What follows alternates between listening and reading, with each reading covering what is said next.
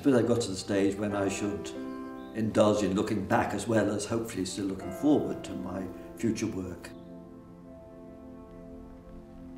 There are some people who end up as astronomers who right from the start knew what they wanted to do.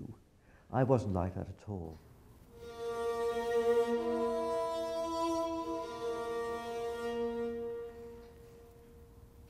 When I was young, I was interested in uh, nature and also in numbers, but I don't think I had any conception that I might end up being a professional scientist. But I can think of two things which puzzled me when I was a child, uh, which perhaps showed I had some interest in science. Uh, one was extremely mundane.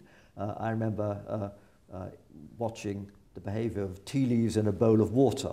And you know, when you, if you spin a bowl of water, the tea leaves pile up in the center, at the bottom. And I remember puzzling about this. In fact, it wasn't until I was a third year undergraduate I understood why that happens, but that was something which puzzled me. And I also remember on uh, summer holidays looking at the tide tables and not understanding fully why high tide was different in times at different places around the coast. And there again, that's something which uh, I puzzled about when I was young, and of course, only when I got to university did I understand the reasons for that. So I suppose, having thought about things like that, that indicates that I had some uh, propensity for doing science and uh, uh, worrying about things.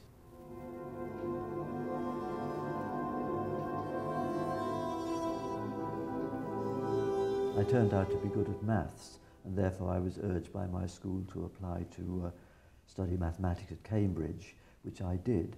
But actually, I've always regretted having done that because I think I would have done far better to have had a broader science curriculum. The science I've used in my career, I've sort of mugged up as I went along. And it was clear to me when I was an undergraduate that I was not cut out to be a mathematician. I wasn't enjoying it. I was into the applications.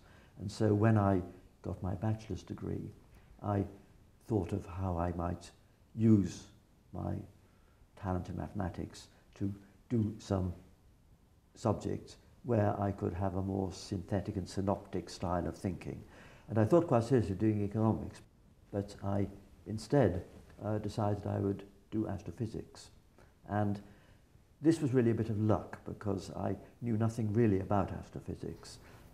I got a research grant to be based in Cambridge for my PhD, and I was allocated to Dennis Sciama as my PhD supervisor. And this was a piece of luck because Dennis Sciama was the most charismatic person who was in touch with what was going on and he had a very good stable of students as it were. Even though I was diffident about whether I was doing the right thing, within about a year I was fairly confident that I was going to get a PhD and that I was doing a field that was interesting.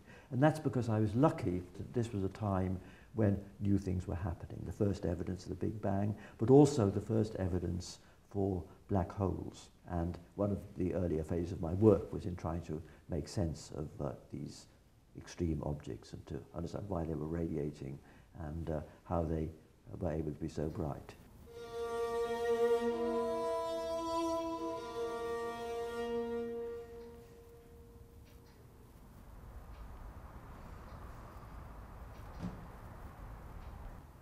I was lucky in a way to be uh, appointed a professor at a fairly early age, and in my 30s I already became uh, director of the Institute of Astronomy for a period.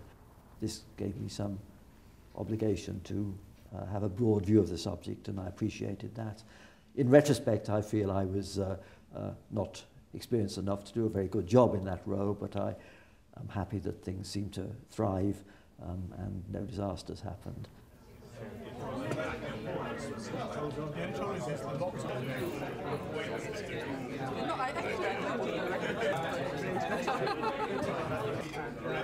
In Cambridge, I, I derived great benefit not only from my own research but from participating in the debates. I think I've been someone who enjoys collaboration, and that's not just because the other people do most of the work, but I think uh, uh, less cynically because uh, the subject does evolve through a collective uh, effort, it's a collective enterprise.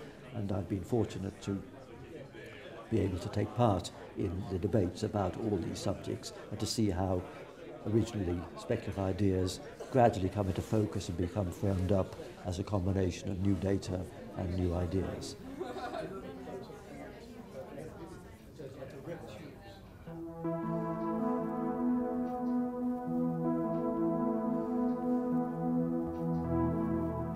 Going further on in my career, um, I was lucky in that many of the issues that I started to think about um, as a graduate student have continued to be the focus of my interest throughout later decades, understanding black holes, understanding the Big Bang, and other problems like that. But one uh, issue that really uh, became important in the uh, 70s and 80s was understanding the so-called cosmic dark matter. It became clear that there was more in galaxies than the stars and gas we see, that to understand how they hold themselves together under gravity, there had to be a lot more stuff producing gravity than what we see, and this was the first evidence for dark matter. And I was one of the people who uh, uh, was involved in some of the early work uh, on this so-called cold dark matter theory.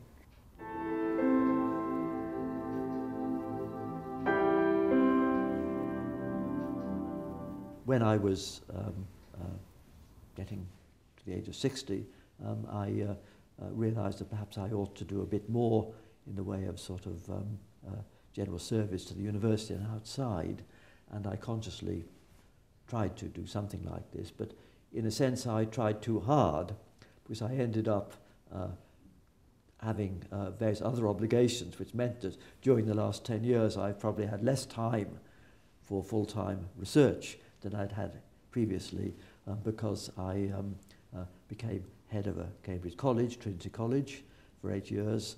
Um, that was very stimulating because it's a, a, marvellous concentration of academic talent across all fields, so I was very good for my education.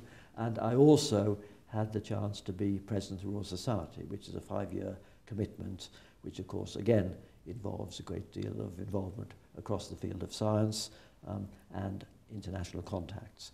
And I became a member of the House of Lords too in 2005. So those three activities um, uh, diverted me from uh, uh, astronomical research and having shed them, I hope I, I'm not too uh, gaga to be able to go back and spend a bit more time doing research uh, than I did in the last decade.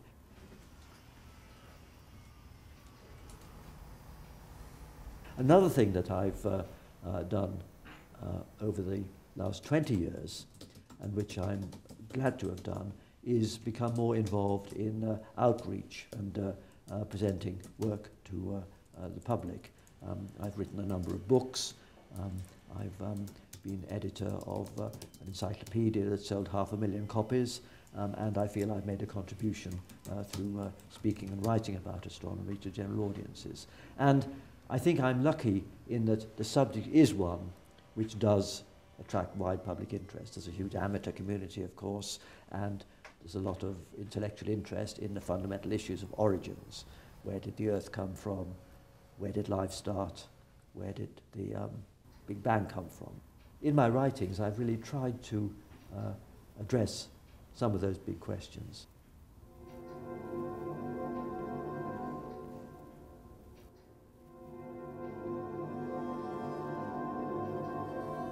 I think it's possible to predict one decade ahead what we'll be thinking about.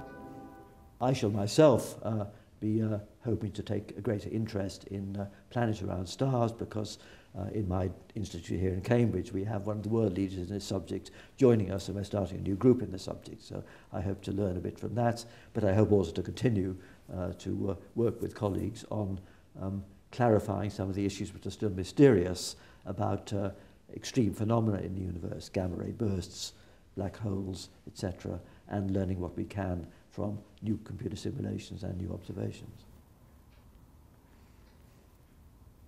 I now find myself for the first time in more than 30 years not responsible for any institution. I'm not head of a department or head of a college or head of anything like the Royal Society.